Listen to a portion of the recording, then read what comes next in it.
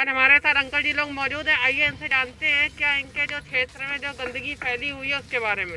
हाँ तो अंकल जी बताइए जो आपके पिछले पाँच साल के कार्यकाल में आपके क्षेत्रीय विधायक जो हैं यहाँ कभी आए नहीं कभी नहीं आए। ये जो सफ़ाई अफाई का मुद्दा है इसके बारे में आप कुछ बताएँगे?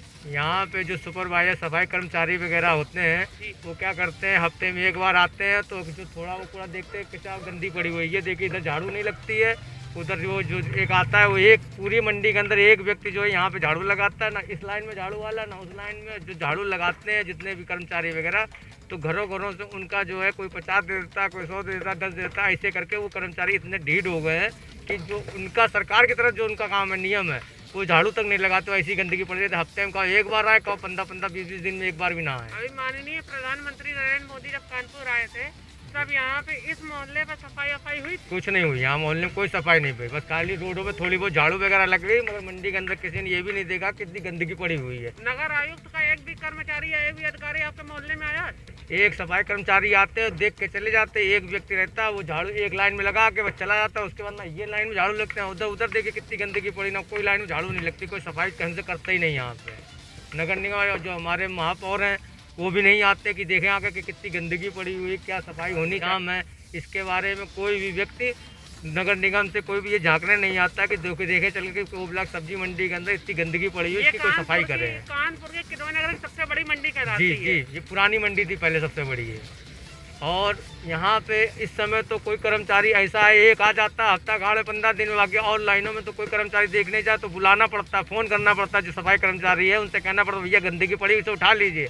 मगर जब तक फ़ोन नहीं करे तो वो अपने मन से कभी गंदगी उठाने नहीं आते यहाँ पे। अच्छा मतलब फ़ोन करना पड़ता है फ़ोन करना पड़ता है इतना भी फ़ोन करना पड़ता है भैया कि यहाँ झाड़ू नहीं लग रही है यहाँ देखिए गंदगी उठा लीजिए कि कोई प्रोग्राम करना हो तो फ़ोन करना पड़ता है भैया यहाँ साफ़ सफ़ाई कर दीजिए तो ऐसे तो हालात नहीं नगर निगम वालों के। कानपुर में जिस हिसाब से कोरोना बढ़ रहा है उसके बारे में क्या कहना चाहिए जिस हिसाब से बढ़ रहा भाई जब इतनी गंदगी फैल रही है इतना वातावरण मतलब दुनिया भर के ये नाली आली ये मच्छर अच्छा रहते हैं, दुनिया गंदगी फैले तो वायरस तो अपने आप और तेजस से पकड़ते पकड़ने लगेगा। यही सफ़ाई रखें। चार लोग जैसे आज दिखता है कि हाँ गंदगी साफ़ है तो उतनी सफ़ाई रहेगी उतना ही कोरोना काल के ऊपर आदमी कंट्रोल करेगा। मगर गंदगी इतनी पड़ी, नगर निगम झांकने नहीं आते यहाँ।